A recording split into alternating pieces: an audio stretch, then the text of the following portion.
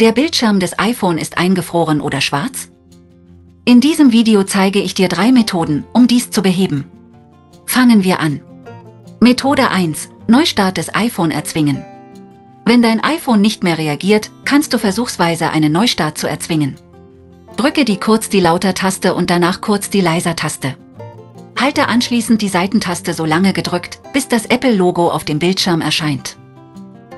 Wenn alles glatt läuft, sollte das iPhone jetzt wieder normal funktionieren.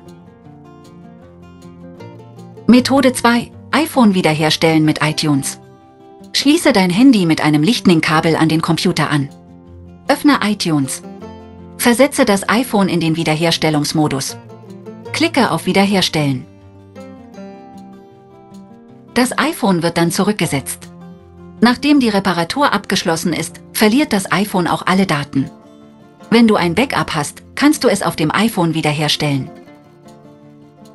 Methode 3. iPhone reparieren mit Reibot ohne Datenverlust. Reibot kann viele Arten von iPhone-Systemproblemen beheben.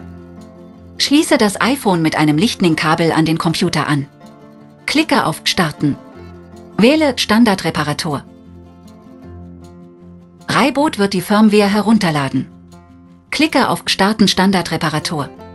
Wenn der Prozess der Reparatur erledigt ist, wird das iOS-Gerät neu starten und jetzt auf den Normalzustand zurückkehren. Die Daten und Einstellungen bleiben so lange erhalten und das Problem wird beheben. Danke fürs Zuschauen, nicht vergessen Daumen hoch und meinen Kanal abonnieren.